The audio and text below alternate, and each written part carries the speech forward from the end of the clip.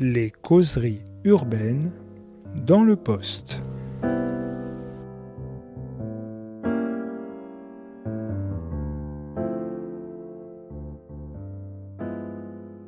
Bonjour et bienvenue dans ce nouvel épisode des causeries urbaines. Aujourd'hui, nous parlerons pas ou peu de la ville, mais plutôt d'altérité à travers une thématique passée sous tabou en France, mais qui agite autant les sciences sociales actuelles que l'actualité, la race. En effet, il est vite inconvenant de faire recours à ce mot en raison de sa polysémie très sensible et des interprétations qu'on peut en faire. Le modèle républicain ayant voulu se construire sur l'abolition de ce concept, on se souvient sans doute du débat en 2013 quand François Hollande proposait d'effacer le mot race de la Constitution, comme si la suppression du terme pouvait affranchir le concept une bonne fois pour toutes. Mais c'est plutôt la confusion entre différentes, acceptations sémantiques de son usage qui constituait les variations de la controverse. De quoi parle-t-on quand on parle de race aujourd'hui en France, et plus largement en francophonie? Est-on raciste si on parle de race? Y a-t-il une légitimité pertinente à désigner la différence au sein d'une république prétendument une et indivisible? Pour en parler, nous avons la chance aujourd'hui de recevoir Sarah Mazouz, sociologue et chercheuse au CNRS, qui le 3 septembre 2020 faisait paraître Race dans la collection Le mot est faible aux éditions Anamosa. Sarah Mazouz, bonjour. Bonjour.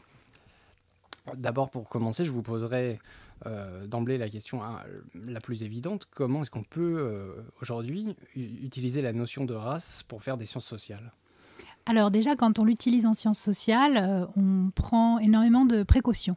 on réfléchit à ce que ça implique, par exemple, de, quand on choisit des enquêtés, d'avoir à les choisir quand on travaille par exemple sur les discriminations raciales, euh, comment on, fait pour choisir des interlocuteurs et des interlocutrices sur ces questions sans être en train de redipliquer la ligne euh, de partage euh, dont eux-mêmes sont victimes. C'est une réflexion que moi j'avais eue déjà pendant ma, ma thèse où j'étais très mal à l'aise d'aller chercher des gens dont je pensais que je les choisissais pour les raisons mêmes au, nom des raisons pour lesquelles ils étaient euh, discriminés.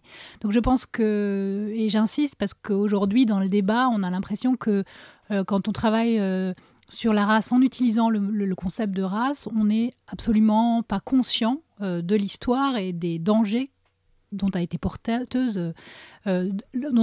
le, mot. Donc déjà, voilà, il y a énormément de, précautions méthodologiques et de réflexivité sur l'usage du mot.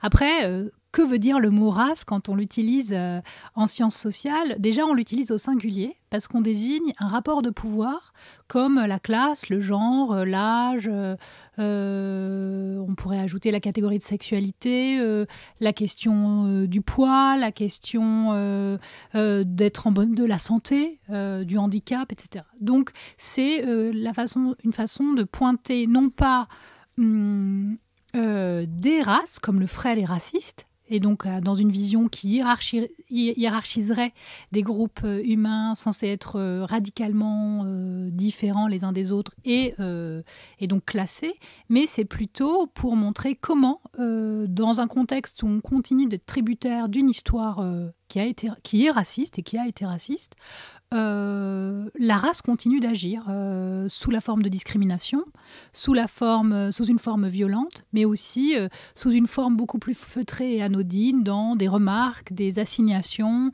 des, des, gestes qui se croient attentifs mais qui en fait réduisent des gens à une part seule, de leur identité, etc.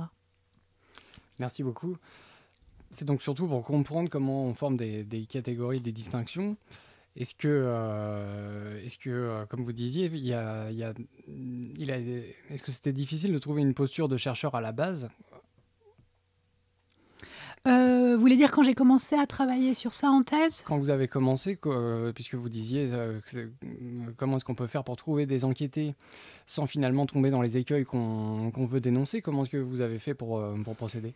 Alors, pour, faire, pour ne pas assigner mes enquêtés aux, aux, assignations racialisantes auxquelles il, et elle étaient déjà euh, euh, susceptibles d'être euh, moi, ce que j'ai fait à ce moment-là, et c'est ce que j'explique dans ce texte qui s'appelle Les mots pour le dire, j'avais décidé d'abord de, de ne pas interviewer seulement des personnes dont je pensais qu'elles étaient susceptibles d'être victimes de discrimination raciale, donc euh, de prendre aussi des personnes que je ne catégorisais pas comme étant racisées. Et euh, l'autre élément, c'est donc c'était une façon de réouvrir euh, le, disons le, d'avoir une de, voir après comment la question des discriminations pouvait apparaître même chez éventuellement chez des, des gens que je n'avais pas moi catégorisés comme susceptibles d'être discriminés ça, c'est une chose. Et ensuite, de partir euh, de la façon dont ces personnes se définissaient pour après, au moment de l'écriture, les décrire. C'est-à-dire de ne pas m'en tenir à la perception que moi j'avais pour dire un tel est noir, un tel est maghrébin, un tel est blanc, etc. Mais plutôt de leur poser, par exemple, toujours à la fin de mes entretiens, je leur demandais euh, comment il et elle se définissaient, pensaient être perçus. Euh, et c'est à partir de là que, après, moi, dans le travail d'écriture, cette fois-ci, euh, je, formulais les choses. Et dans certains cas, j'ai fait relire mes textes aussi. Donc c'était aussi une façon, après, de m'assurer qu'il n'y avait pas quelque chose qui violentait euh, les personnes dont je parlais au moment de, de ce qui se cristallise dans l'écriture, en fait. D'accord. Est-ce que, euh, quand on travaille euh, comme ça, on découvre que justement dans la manière dont les individus peuvent se percevoir, parfois euh, ça n'est pas forcément en relation avec leur physique et ce qu'on peut leur assigner, comment ils se représentent d'un point de vue racial, mais qu'éventuellement il y a d'autres facteurs comme la religion ou euh, des géographies un peu plus floues, comme euh, pour les Roms ou les Juifs, euh, qui viennent rentrer dans cette matrice? Alors, comme toujours, en fait, on pourrait dire que même dans les cas les plus flagrants, en fait, la, racisation, c'est-à-dire la construction par un groupe dominant d'autres groupes comme étant des races, donc comme des groupes inférieurs, euh, passe toujours par un élément corporel. Mais l'élément corporel, il vient toujours d'une certaine manière après coup. Euh, même quand ça nous paraît euh, flagrant qu'il y a des différences phénotypiques, le premier geste, à mon sens, il est de d'altériser et d'inférioriser. Et après, on va trouver des traits phénotypiques qui, seront, qui viendront euh, et qui seront pensés comme étant porteurs, euh, comme étant la manifestation de cette différence euh, radicale. on le voit, vous parliez de la question de l'antisémitisme et de la façon dont on a construit la figure du juif comme étant complètement autre. C'est ça qu'on voit. C'est-à-dire que vous avez une, population européenne qui n'est pas qui n'a pas de différence phénotypique flagrante et qu'on va que l'antisémitisme va euh, construire comme étant euh, autre physiquement avec l'idée aussi que ce physique rend compte euh, d'une infériorité, d'une dépravation morale, d'une menace, etc. Donc qu'il incarne toutes les, peurs sur lesquelles joue là l'antisémitisme. Et on pourrait dire ça à d'autres groupes. Moi, j'ai pas du tout travaillé sur les Roms, mais je pense qu'il y a exactement ça aussi. on le voit aussi quand on pense aux Maghrébins. Enfin, pareil, comment on en vient à racialiser euh, l'arabe. Euh, et aussi, en fait, même si là, pour les, y a la différence phénotypique fait qu'on on pense que c'est ça qui est premier, mais même dans le cas des Noirs, en fait, euh, d'un seul coup, on postule que cette différence physique est l'expression d'une infériorité radicale. Donc, oui, en fait, ce que, la, je crois que vraiment c'est très important aussi, euh, encore plus peut-être dans le contexte français, de penser euh, la question de la race de manière dissociée de la question de la couleur. Euh, et c'est ce qu'on veut dire aussi d'ailleurs quand on dit blanc. blanc, ça désigne pas des personnes qui sont de, avec une pigmentation blanche, mais ça désigne un statut en fait. et on voit des, groupes qui, ont, qui paraissent blancs phénotypiquement, qui n'ont pas pour autant le, le statut social de blanc. Très bien. Vous, vous, mentionniez notamment dans, dans, dans, Race, un livre paru en 95 qui s'appelle Comment les Irlandais sont devenus blancs. Mm. Et qui peut euh, justifier euh, cette différence entre, la, le, entre le statut social et, le, et la couleur de peau. Euh, puisque en fait les premières communautés irlandaises aux États-Unis ont fini par être considérées comme blanches à partir du moment où ils ont eux-mêmes participé à une exploitation, où ils ont gravi les marches dans, euh, dans un système de domination aux États-Unis.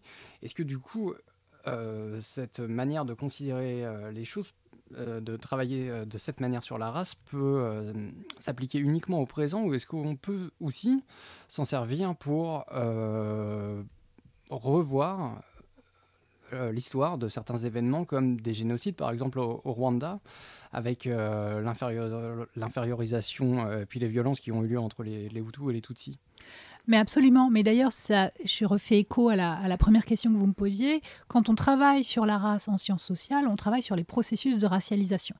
Et ce qu'on entend par racialisation, c'est deux choses. C'est-à-dire, euh, la racialisation, ça permet justement d'expliciter euh, des logiques qui sont à l'œuvre et dont on n'a pas toujours euh, conscience, et de problématiser, c'est-à-dire de dire voilà comment la question se pose à un moment précis.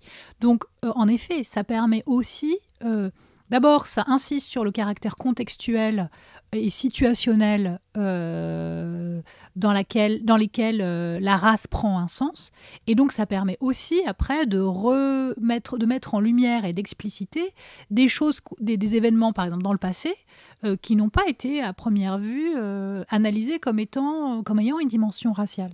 Donc, oui, oui, tout à fait, bien sûr, on peut revisiter. Et puis, on peut aussi. c'est pour ça que le, concept de race reste abstrait quand on en parle comme ça. C'est-à-dire que c'est un concept abstrait, mais qu'on va pouvoir après appliquer de manière situationnelle à, euh, différents contextes euh, politiques, culturels, religieux, euh, et on peut. Et on, va à ce moment-là découvrir des choses différentes. On peut utiliser le concept de race pour penser les rapports qui existent en Inde, par exemple, entre différents groupes, et on ne verra pas du tout les mêmes choses que ce qu'on voit quand on travaille sur la France ou quand on travaille sur le Maghreb. Mais on peut, dans tous les cas, faire ressortir la dimension raciale des rapports sociaux. Est-ce que, euh, est que vous pourriez euh, euh, préciser une distinction très importante qu'il faut faire quand on, quand on travaille sur, sur la race en tant que notion que vous, que vous, faites entre la racialisation et la racisation, puisqu'en fait, euh, c'est d'abord une question de posture, mais c'est aussi pas les mêmes, euh, les mêmes enjeux qui sont, qui sont à l'œuvre. Oui, alors ces deux notions qui sont utilisées dans les travaux qui portent sur les questions raciales. donc racialisation, c'est un terme qui a été forgé par Franz Fanon. Euh, quand il analyse euh, la situation coloniale à travers le cas de l'Algérie et euh, la façon dont voilà, les, rapports sociaux sont construits dans les, dans les par, la, différence entre colonisés et colonisateurs, et notamment ce qui se passe sur le plan de la culture des colonisés par l'entreprise coloniale.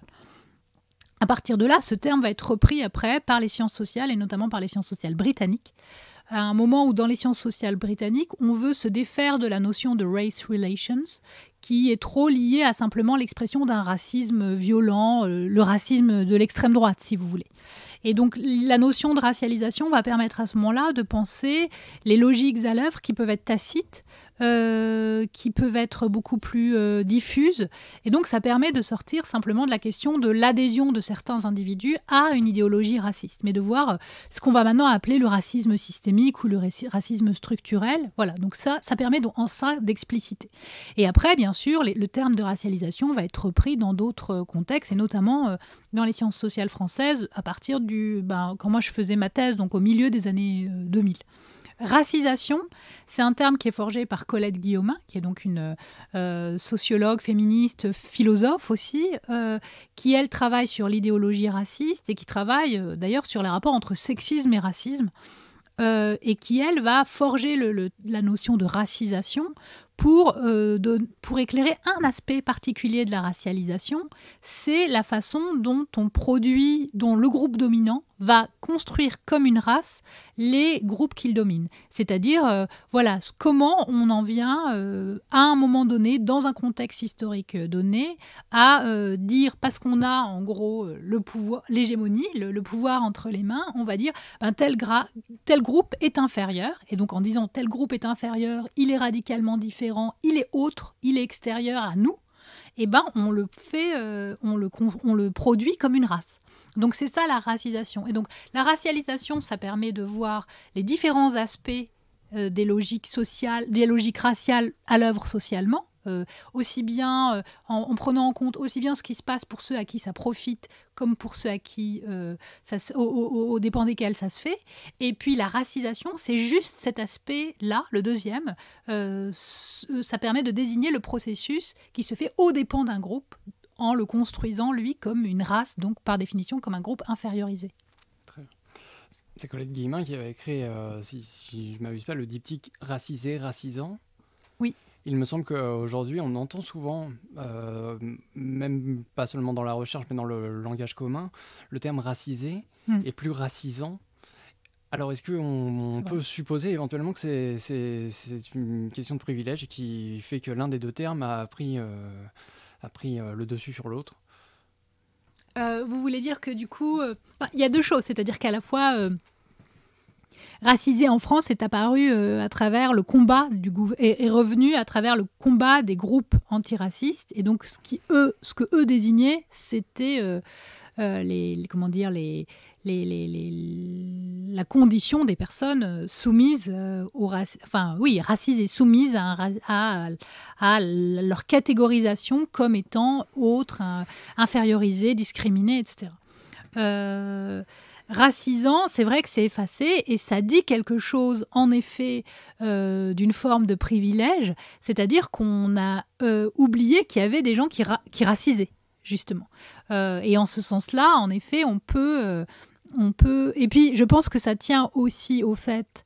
et ça explique peut-être aussi en partie les crispations qu'on vit aujourd'hui en France, mais on pourrait ramener ça à un contexte plus général en Europe hein, d'ailleurs, c'est que jusqu'à jusqu'à peu, euh, la question du racisme n'était pensée qu'à travers la question, encore une fois, euh, euh, du racisme pensé comme une idéologie d'extrême droite portée par des individus dont on disait qu'ils étaient déviants, ignorants, euh, qui souffraient d'un manque d'éducation, etc. Et on a complètement occulté et effacé la question du racisme structurel, systémique, porté au- au-delà des individus, si vous voulez. Euh, et donc, euh, c'est aussi ça, je pense, qui explique la façon dont on... cet effacement. C'est-à-dire qu'on a, on a tendance à... euh, comment dire À ne penser la, la production de l'assignation racisante que à travers... Enfin, d'abord, on ne pense pas tellement cet effet-là, on pense simplement des personnes victimes de violences racistes. Et donc, donc en, en- en effaçant toute la dimension euh, systémique en fait du racisme, on, on- on efface aussi euh, la part du producteur, que ce soit à un niveau individuel ou à un niveau institutionnel. Euh, et donc, c'est ça qui fait qu'on ne parle pas de racisant. Alors, moi, dans mon travail, j'avais utilisé la notion d'assignation racialisante Mhm. euh, pour montrer euh, euh, justement vraiment le processus en train de se faire de voilà d'assignation à une position d'infériorité et d'altérité euh, euh, radicale. Il se trouve aussi que moi, euh, et là on voit aussi comment la recherche se fait, au moment où j'ai écrit euh, ce, ce travail, je travaillais beaucoup plus avec Fanon qu'avec Guillaumin, et donc j'ai utilisé racialisant plutôt que racisant. Comment est-ce qu'on pourrait faire pour euh, utiliser le mot race dans des contextes où il n'a pas forcément le même sens et pas forcément dans les mêmes espaces langues? Oui, alors c'est c'est une question euh, d'autant plus importante aujourd'hui quand on est dans le contexte français où on nous attaque aussi sur euh, le fait que ce serait que des importations euh, américaines, etc. Avec ce fantasme des campus américains comme si c'était un tout monolithique qui produisait exactement la même chose, qu'on produisait exactement la même chose d'un campus à l'autre. Mais bon, ça je passe, c'est une, une parenthèse. Si je dis ça, c'est parce que je pense que c'est extrêmement important, justement du côté de la recherche, qu'on s'empare de ce mot et qu'on y travaille dans des contextes différents. Alors, euh, je vais répondre, ça va être peut-être un peu long, mais je pense que euh, la différence entre le contexte états-unien et le contexte français, en effet, c'est que du côté états-unien, le terme race est resté un terme descriptif. La, la- race était là, si je puis dire, de manière extrêmement explicite, vu le système euh, d'abord esclavagiste sur le territoire même des États-Unis, puis après la ségrégation, et puis voilà, ce qui continue d'en d'en- perdurer. Hum. Euh, et donc, on est passé euh, d'un usage raciste à un usage euh, descriptif dont se sont emparés après les, sciences sociales, le droit, etc., pour désigner justement ce que la race continuait de, produire comme forme d'inégalité. Dans le contexte français, on est dans une autre situation puisqu'on pense avoir dépassé la question raciale euh, par décret, donc avec une forme d'idéalisme au sens philosophique du, terme, c'est-à-dire de dire, bah voilà, on décrète quelque chose et la réalité va suivre. Euh, et donc tout, tout l'enjeu, c'est de dire, regardez, dans les faits, ça n'a pas disparu. Et donc on est obligé de réintroduire euh, la notion de race. Mais là où c'est intéressant de, voir et de voir la circulation, c'est d'abord dans le contexte français, finalement, on est obligé d'être beaucoup plus, euh, comment dire, euh, attentif à ce qu'on entend par race, parce qu'il y a tous ces obstacles et toutes ces réticences euh, à utiliser le, terme race. Et je le voyais, c'est ce que je disais à la fin d'une interview là sur, Mediapart. En fait, on voit quand on discute avec les, les collègues d'autres pays et notamment avec les collègues états-uniens que euh, dans le contexte d'élaboration de la notion de race, euh, quand on le fait en France, voilà, on est obligé de, préciser les choses comme je l'ai fait au début, c'est-à-dire de dire on utilise race au singulier, on entend par là euh, un rapport de pouvoir, etc. Alors, bien sûr, aux États-Unis, les chercheurs qui travaillent sur ça entendent la même chose.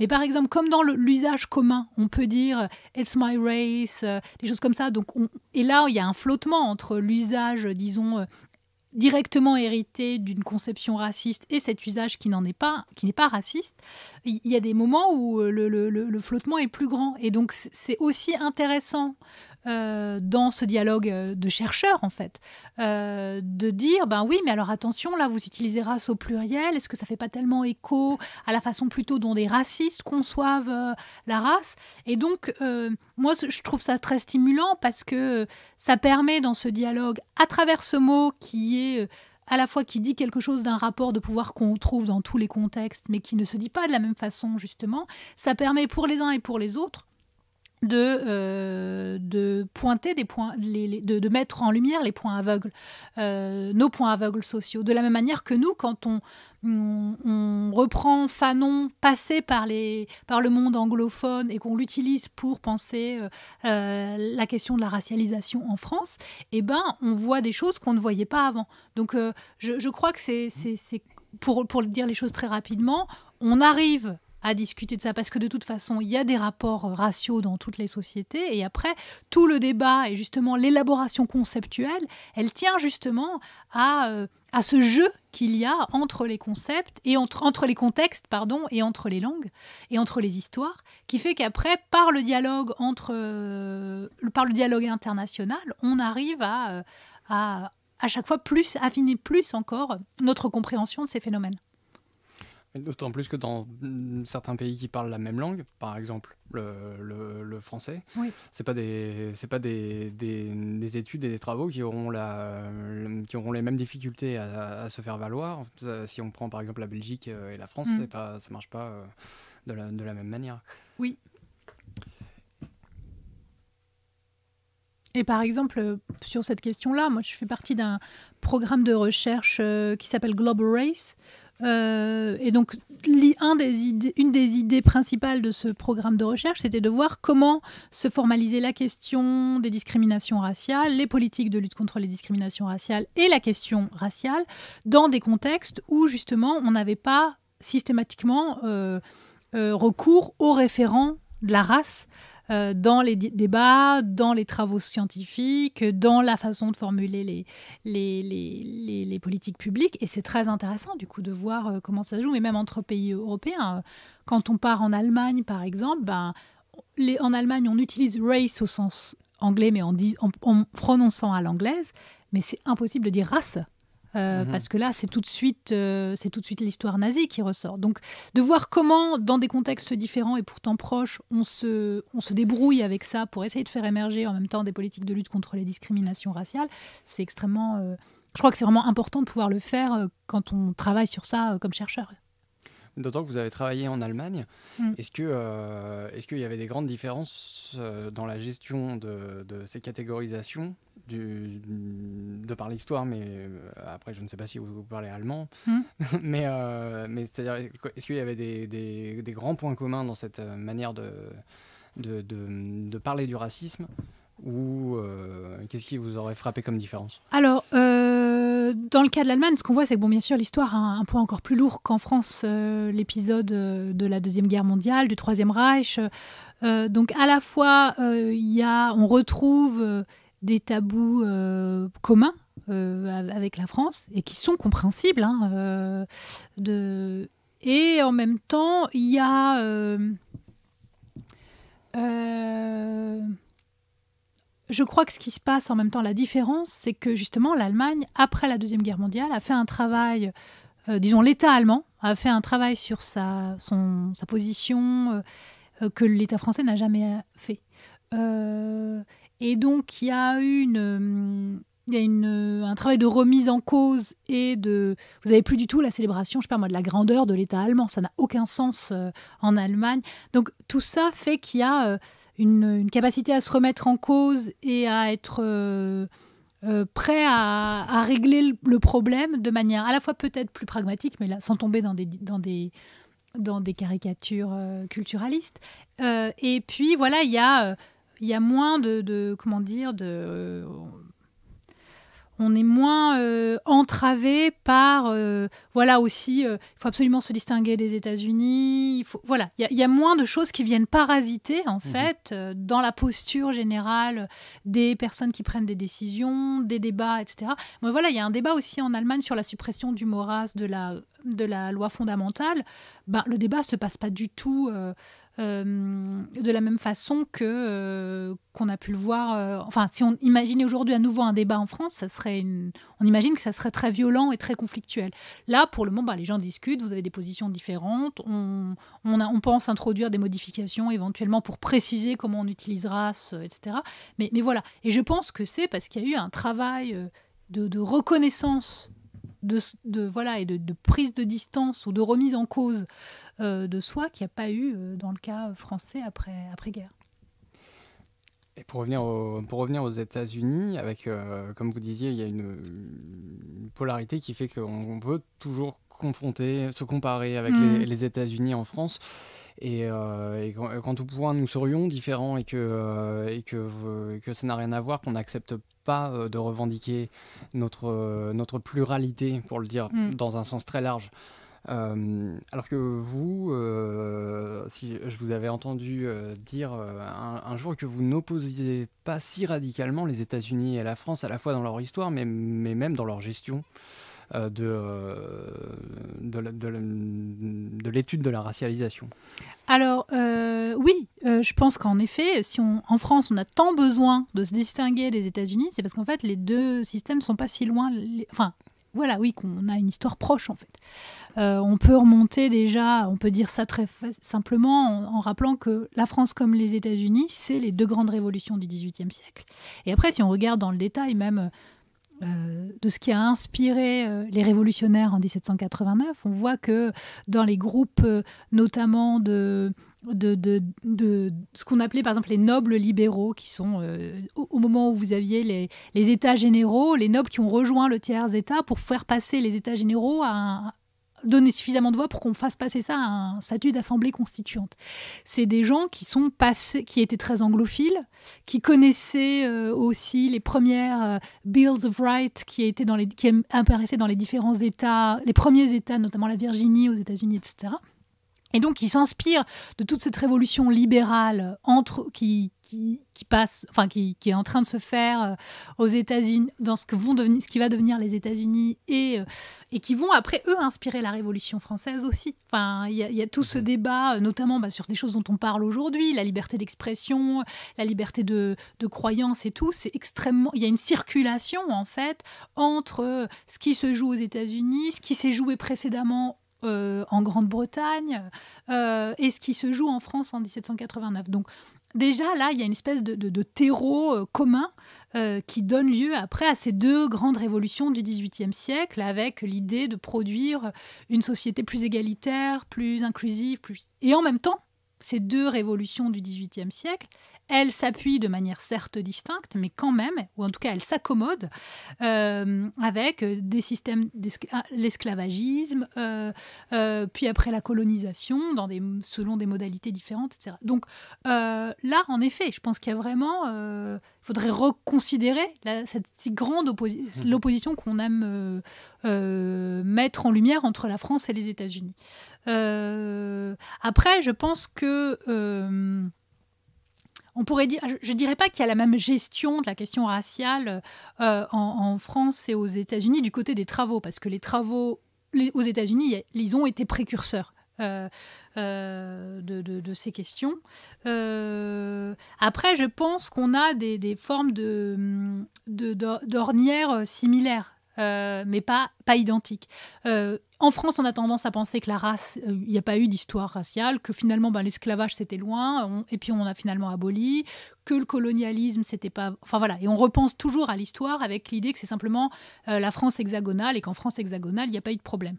aux États-Unis, je dirais qu'il y a un peu la même chose avec la question coloniale et impériale en fait. C'est-à-dire que c'est un pays qui ne pense pas, euh, euh, qui ne se pense pas comme une puissance coloniale, alors même que ça l'a été sous des modalités euh, différentes et que ça l'est en partie encore avec Porto Rico, si on pense par exemple à Porto Rico, ou même voilà l'histoire d'un impérialisme américain qui est certes différent de, mmh. de ce qu'a été l'impérialisme euh, européen, mais qui a des, des, des, points communs. Donc euh, voilà, je pense que c'est comme ça qu'il faut peut-être euh, saisir les, les, choses et en tout cas pas s'empresser, s'il y a une idée à garder, pas s'empresser de se dire on, est très différent. Je suis pas sûr qu'on soit si différent. Non. il y a en France, donc, comme on parlait au début, le modèle républicain qui voudrait tendre vers l'universel et dans votre, euh, enfin, du moins du, du, fait que malgré nos différences, nous serions tous des citoyens et que ça nous fonderait euh, tous mm. dans, toute notre pluralité, vous dénoncez, si j'ai bien compris, un, un, universalisme abstrait. De ce point de vue, est-ce que vous pourriez euh, détailler? Oui, alors là aussi, on revient encore à la Révolution française. L'universalisme abstrait l'idée d'abstraction et d'avoir euh, simplement des citoyens, que l'État ne reconnaisse que des citoyens, à l'époque, c'était un progrès énorme par rapport à un système marqué par euh, le fait qu'on héritait de son statut social et on était noble ou membre du, ou, membre du clergé, bon, ça c'était lié, mais, mais euh, ou membre du tiers-État, et donc après qu'on n'était pas du tout soumis au même régime d'imposition, de droit, etc. Bon, dire euh, on va sortir de ça et l'État ne reconnaît que des citoyens, c'est un, pas vers l'égalisation et vers plus d'égalité. Euh, avec l'idée qu'on se défait euh, de, l'héritage, du sang, etc. Et que voilà, l'État n'a pour, interlocuteur que le citoyen au sens de l'individu doué de droits politiques. Euh, malheureusement, euh, donc abstraction faite, c'est pour ça qu'on dit universalisme abstrait, abstraction faite de ces différences, de ces affiliations personnelles, etc. Malheureusement, on voit très vite euh, quels sont les, les, écueils de cette lecture, puisque déjà au moment de la Révolution française, sont exclus du corps politique les femmes et, les noirs. donc vous avez déjà ça, et puis on, et même quand ces groupes-là sont réintroduits après dans le corps politique, on voit bien qu'en dépit là encore, de, l'énoncé euh, d'un principe d'égalité formelle. Donc là, à nouveau, on, retombe sur ce que je disais tout à l'heure, c'est-à-dire on énonce un principe, mais on ne se donne pas les moyens après de rendre effectif le principe d'égalité. Et c'est ça le problème. Un des problèmes de, l'universalisme abstrait, c'est que non seulement, enfin, on pourrait dire qu'il y a deux problèmes, c'est-à-dire que l'universalisme abstrait, ça a tendance à euh, penser que, faire amener à penser comme universel comme étant la norme, en fait, le groupe dominant.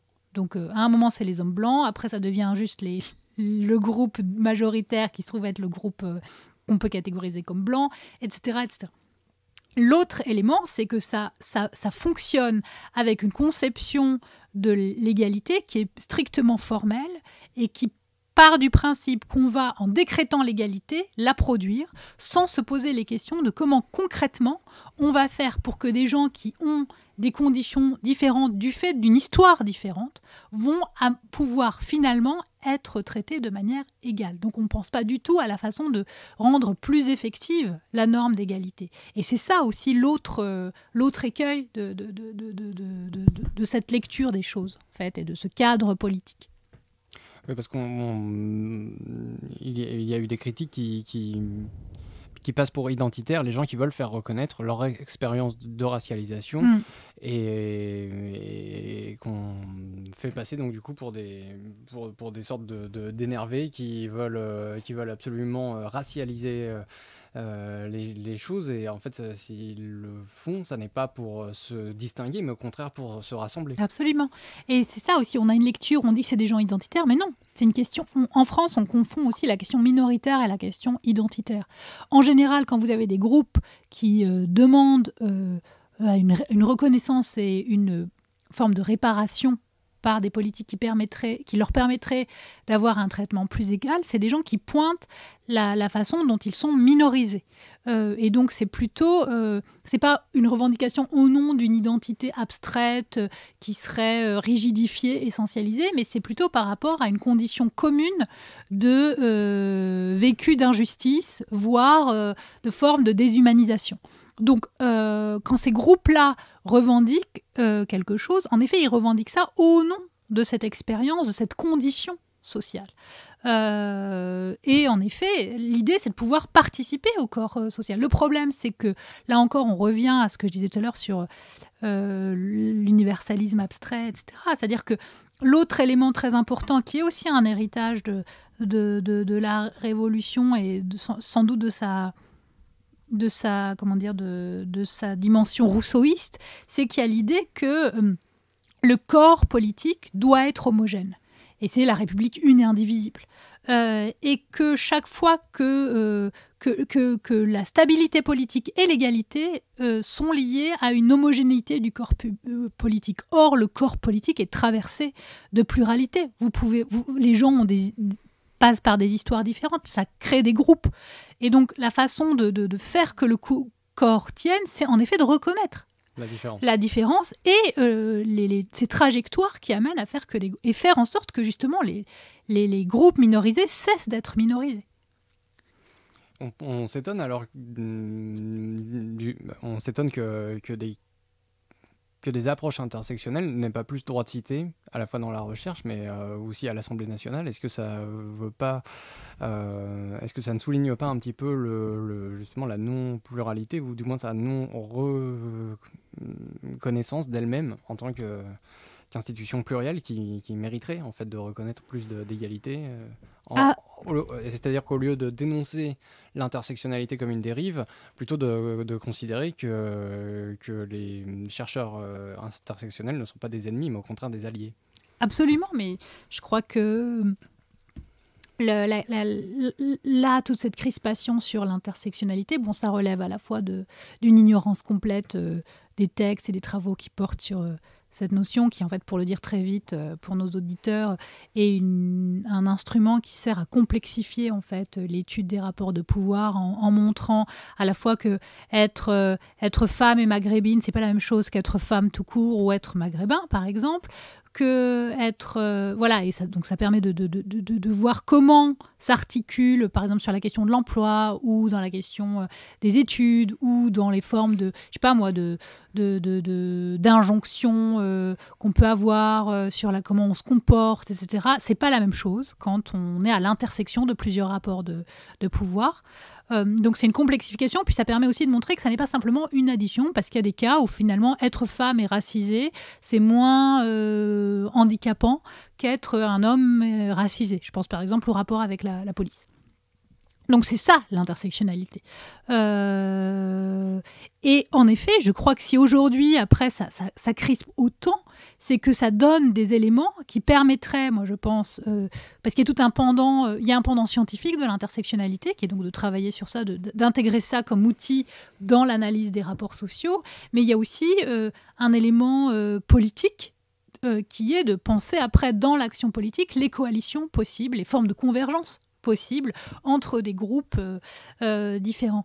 Et je crois qu'en effet, un des éléments qui pourrait à la fois, euh, par l'intersectionnalité, faire renouveler un petit peu le, cadre général théorique dans lequel on évolue en France et qui fait qu'aujourd'hui on se crispe face à, ce, à cette notion, c'est que ça permettrait de produire du commun, il me semble, sans avoir à passer par cette abstraction universalisante, mais de trouver les façons de faire autrement de l'universel, à partir de gens que pour le moment on ne voit pas comme étant euh, capables d'universaliser. Il y a euh, des passages très beaux dans le, documentaire Marianne Noire de Mam Fatou Nyang où on voit la réalisatrice Alice Diop raconter comment elle, en lisant euh, Balzac, en lisant, elle se reconnaissait là. Mm. Et donc, elle lisait des, des, romans écrits par des personnes blanches et elle y voyait une universalité. Je crois qu'aujourd'hui, qui est difficile en France, c'est de reconnaître qu'on puisse aussi partager et trouver quelque chose d'universel qui soit porté par des personnes qu'on continue de voir comme étant des minoritaires.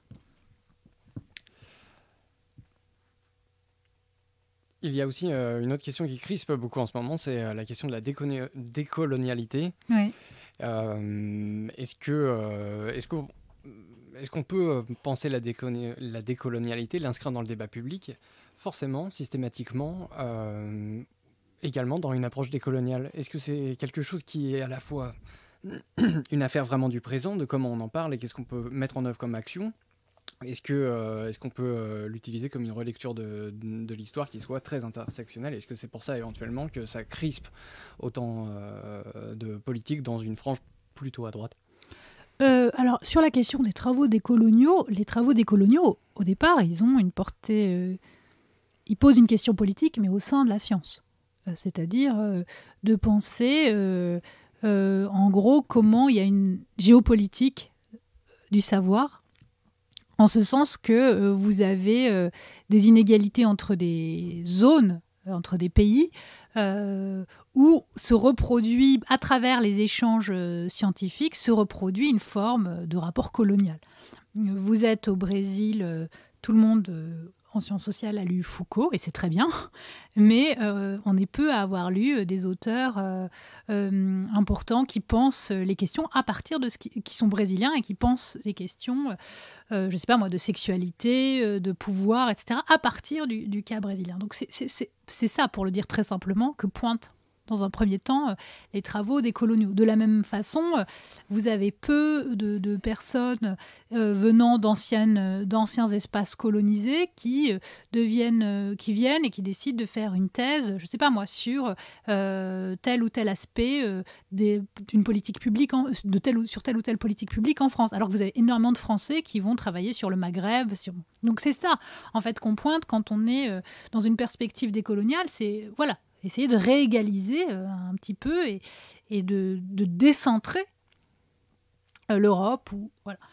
Donc, à la base, je, je, pense même en fait que les, les, hommes politiques n'ont pas à parler euh, des travaux des coloniaux. Si eux arrivent après à intégrer ça, c'est-à-dire la critique qui est portée par les travaux des coloniaux, si on arrive à, à, la, à la faire sortir du simple cadre scientifique pour que ça soit un aiguillon qui amène les uns et les autres à se poser la question de dans quelle mesure je ne suis pas moi-même en train de reproduire un rapport colonial dans la façon dont je travaille, dans les rapports que je tisse, etc. Ça, c'est très bien.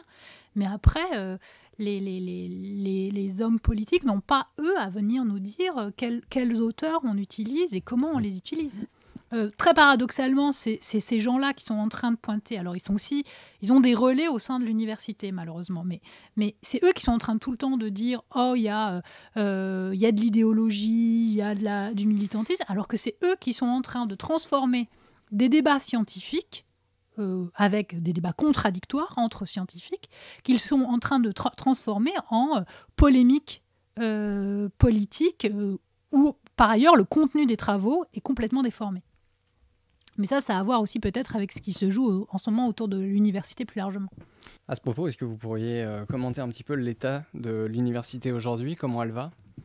Alors, ben justement, je pense que ce que je viens de dire euh, dit quelque chose euh, de la façon dont on est en train, de, à différents niveaux, de, s'attaquer et de détruire ce que ce qu'est l'université comme étant un espace d'échange engagé euh, mais d'échange qui tient, qui, reste, qui a son, autonomie, ses modes de régulation propres, etc. Je pense qu'on peut dire deux choses, c'est-à-dire qu'il y a une... On, est on s'inscrit dans un, dans un processus long hein, qui date du milieu des années 2000 de euh, néolibéralisation progressive de la fac, ce à quoi, de l'université, ce à quoi les universités françaises avaient jusque-là échappé. Euh, et euh, donc de destruction de, de, de, de l'université et de la recherche publique progressive. Et là, ce qu'on voit, c'est qu'on passe à... Donc on avait eu...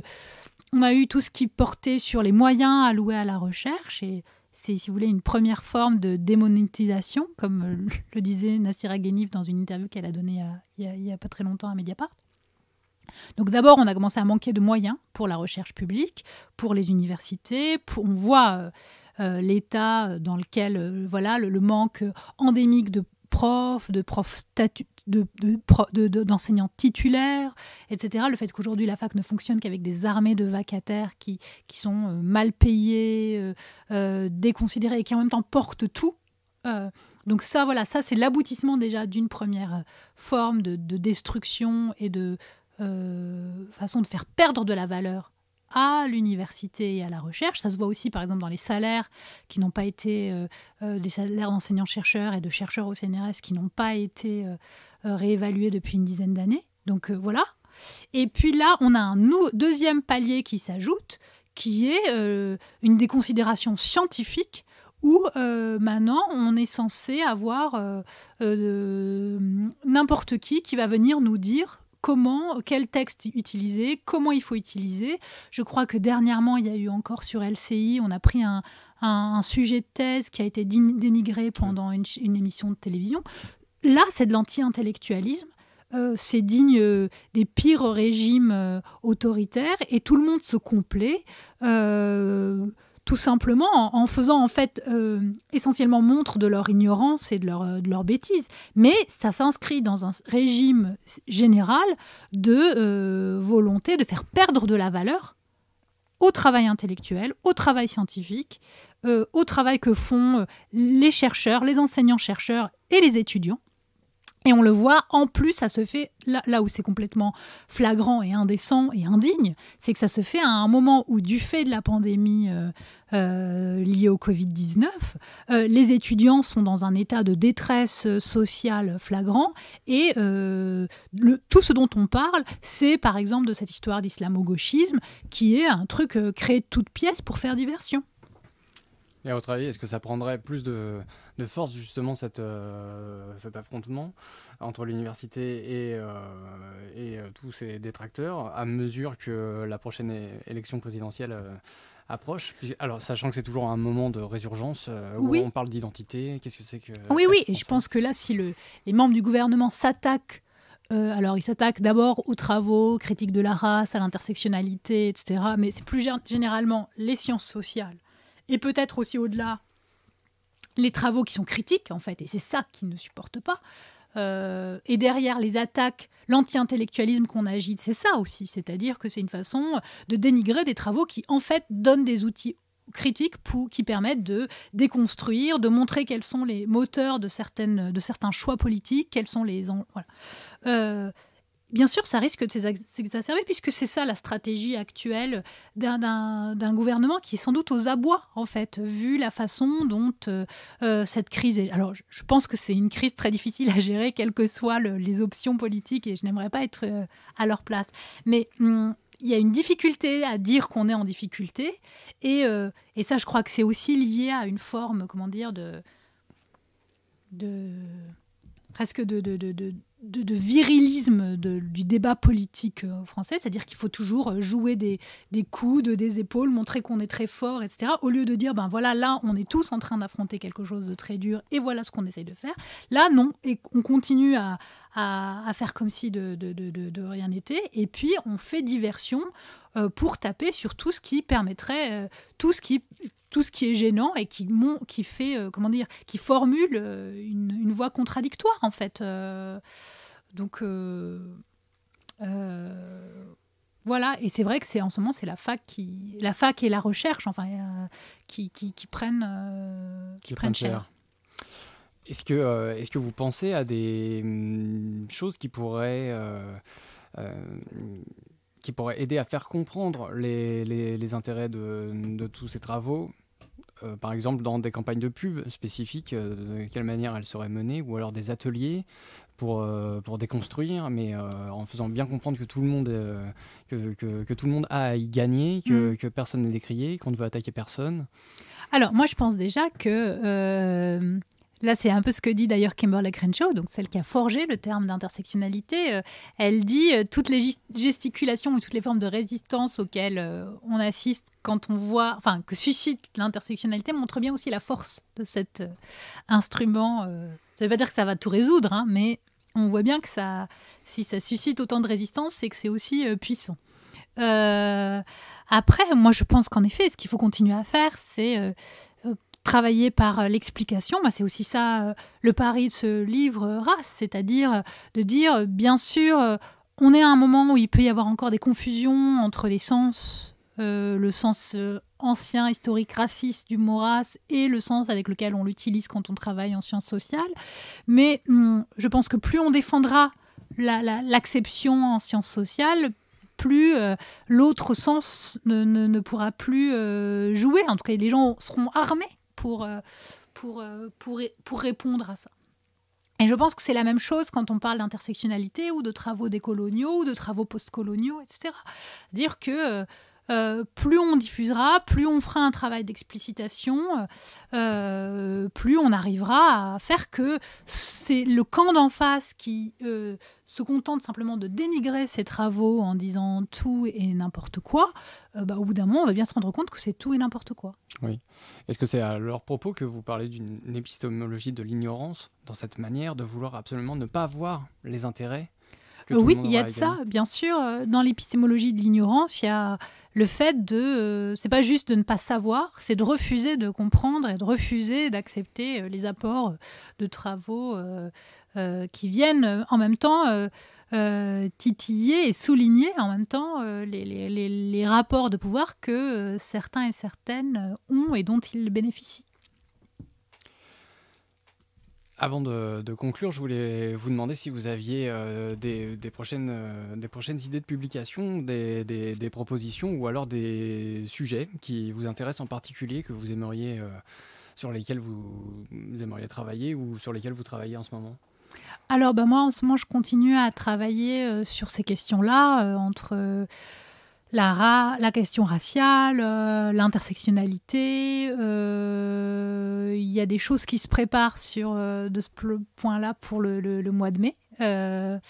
et après, je continue aussi à faire mon, travail de, chercheuse. Donc, il y a aussi un, dossier, enfin, ça d'ailleurs, ça fait partie aussi de mon, travail de chercheuse, mais je dirais qu'il y a un, dossier de publication aussi dans une revue, cette fois de, recherche euh, en anglais sur les questions de blanchité en France.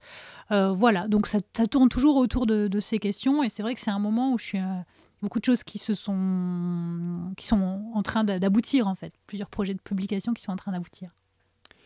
Est-ce que tout au long de, de, toutes les interviews que vous avez pu mener pour la présentation de ce livre, est-ce qu'il y aurait une question qu'on ne vous aurait pas posée et à laquelle vous auriez aimé répondre? Euh, non, j'ai l'impression qu'en fait, à chaque fois, ben, on parle de, ce qui est essentiel euh, là sur ces questions-là. Peut-être juste à nouveau pour redonner une, clarification qui, pour faire écho à vos toutes premières questions sur euh, ce que ça veut dire de travailler sur la race quand on travaille en sciences sociales. Peut-être que pour que les auditeurs et auditrices retiennent quelque chose, je pense qu'à la ce qui distingue la façon de travailler quand on travaille avec race avec la notion de race en, sciences sociales, on utilise une notion qui permet euh, de décrire les mécanismes de classification et non pas, à la différence de, la notion de race chez les racistes, d'adhérer à, euh, euh, à la logique classificatoire. Voilà, je pense que c'est peut-être ça qu'il faut retenir. Que le but, c'est de ne pas essentialiser, justement. Absolument. Merci beaucoup, Sarah Mazouz. Merci à vous. Je rappelle qu'on peut encore trouver Race dans, dans la plupart des librairies, dans la collection Anamosa. Merci à tous.